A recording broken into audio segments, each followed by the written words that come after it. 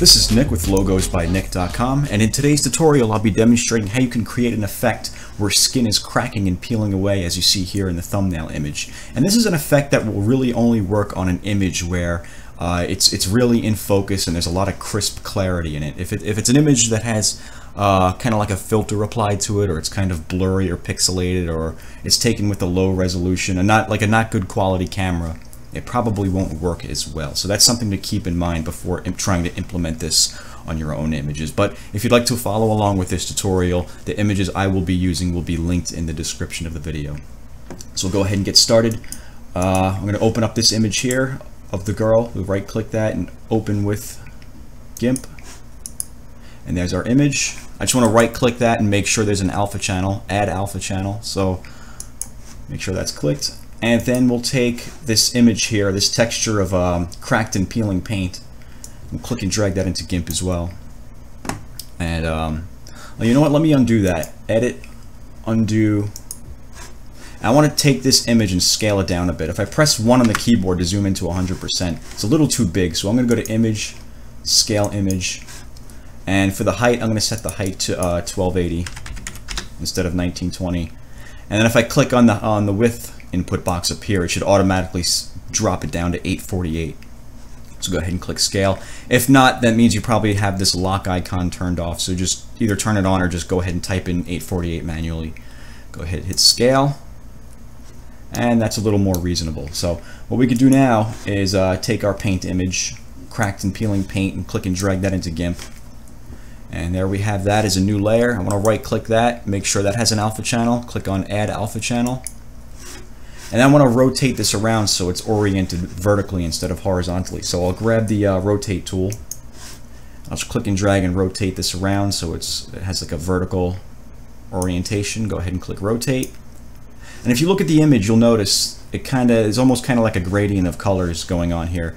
On the right side of this this texture, there's a lot of like white, but then towards the left, there's like a lot of yellow. It's like yellowish greenish shade. So we want to be working with the side where there's a lot of white because the white is going to be where the transparency shows through. So what we're going to do now is I'm going to come up here to where it says mode, this drop down. I'm going to set that to um, multiply.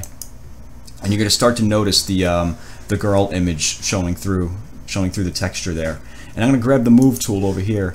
I'm just going to take this texture and move it over to the left. Um, yeah, move it to the left so that the white, the white part of the uh, texture is showing through and I'll position it like that. I'd say that's pretty good. And what we want to do now is we want to eliminate all of the outside. The, um, the effect is only going to be on the face right here. So we want to eliminate, we want to erase all of this outside area. But instead of taking the erase tool or the eraser tool and, and manually coloring it all out, what we could do is we can click on the uh, layer with the girl image on it. And then we can grab the uh, select by color tool and then come over here and just click on the color white. And it's going to select everything in that layer that's colored white. And what we could do now is click on the uh, texture layer and just press delete on the keyboard. And that'll that's gotten rid of not all of it, but it's gotten rid of most of it. It's a lot less time we're going to have to spend erasing out that area. So what we could do now is go to select, uh, select and click none. And um, what I want to do now is, uh, if you notice the two different tones of the skin here, this the skin where the texture is, it's a little darker than what it was previously. If you toggle this layer off, you'll see what I'm saying. So to do that, I want to make these whites a little more white in that texture. So I'll go to um, colors and I'll click on curves. And I'm going to take this node up here to the top right and just bring that to the left a little bit just to bring those whites out a little more.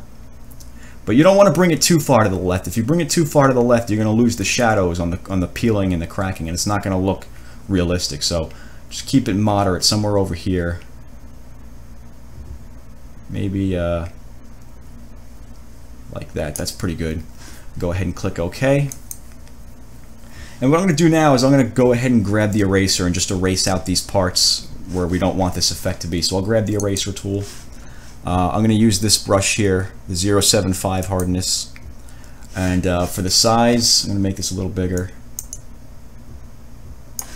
Something like that. That's pretty good. And I'm just going to zoom in by holding control and rolling up the mouse wheel.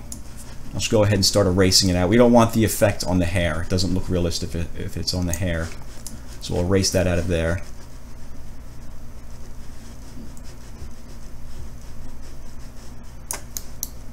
Remove that from there as well. Remove it off of the ear. We don't want it on there. And down here on the neck. Because again, this effect is just going to be applied to the face. Remove that.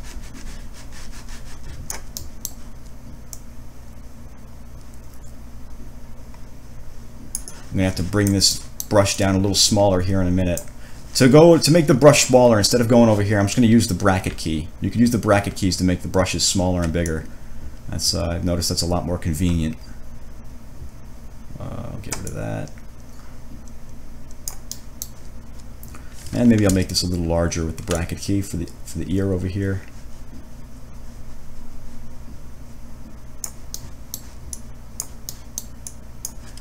And let me zoom out a little bit. Just hold control and roll down the mouse wheel and we're looking pretty good. So what we got to do now is uh, I want to bring out some more color in um, the, uh, the face here where the skin is. Before I do that, I just want to go ahead and erase the cracks going over the lips and the eyes because that's shouldn't be there. It doesn't look realistic. Let me zoom in a little more. Make the brush smaller, again, using the bracket key. And again, to zoom in and out, I'm just holding control and rolling up and down the mouse wheel. Move that from there. And same thing. And to move the page around like this, I'm just pressing down the mouse wheel and moving the mouse. Go ahead and get rid of that. And let me just zoom out.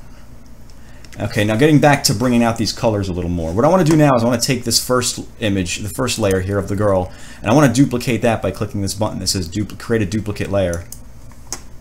And I want to bring that above the other layer. So that's sitting on top. And what I want to do is set the mode to overlay. And if you notice, it made the colors pop a little more.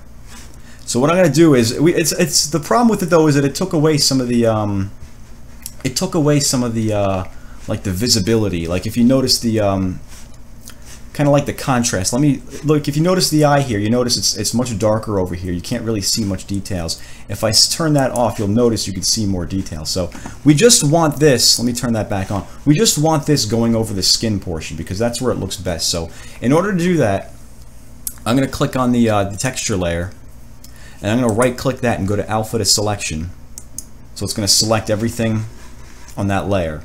And then I want to invert that selection but before I do that, I want to click on the first layer up here.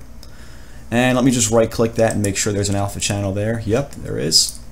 So now I want to go to select, invert, and then press delete. And then go to select, none. And I want to take the, uh, the, the, the, uh, the opacity of that bring that down a little bit. Just, just about to like 72. And if you if you toggle the visibility on and off, you'll notice the difference. It looks a little better. And uh, let me just zoom in up here. If you notice by the hairline, it looks like there was a little uh, a little bleed through area that shouldn't really be. I'm just gonna go ahead and erase that out with the eraser. Looking pretty good. Now uh, we'll go back here to the texture layer. I want to take out some more of this where the hair is. Those cracks really shouldn't be there.